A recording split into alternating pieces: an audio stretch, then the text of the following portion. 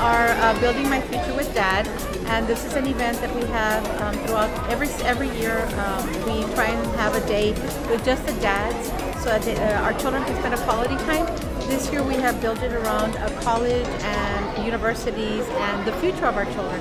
As we know, we're striving and we're looking um, forward to making sure that every child in our um, city or in our educational system um, graduates from high school and attends a university. And so we have focused today on building a future with our children. So the dads are here today um, building race cars and rockets with their kids so that they can spend some quality time and they can discuss their career options with their children as they're working.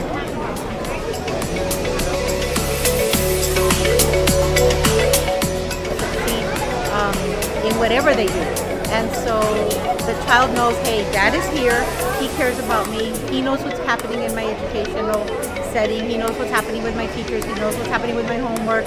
And so there isn't that leeway to say, well, I don't have homework, dad, or I don't have this, because dad already knows, because he's involved as well. So it's really, really important for not only mom, but for dad to be part of that, of that um, educational setting for the children.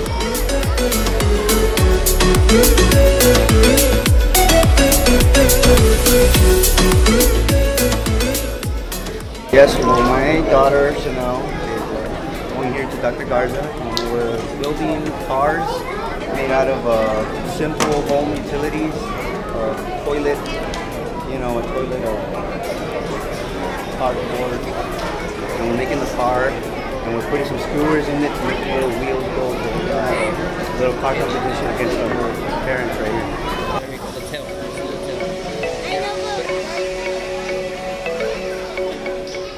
Grateful, very blessed that I get to you know spend some time with my daughter. I love it. You know, I'm a busy man, and I'm glad that the school and the district is doing these types of events for the kids and you know for the parents. That it's a we can get involved in uh, these uh, little curricular activities where we can just you know have a friendly competition, you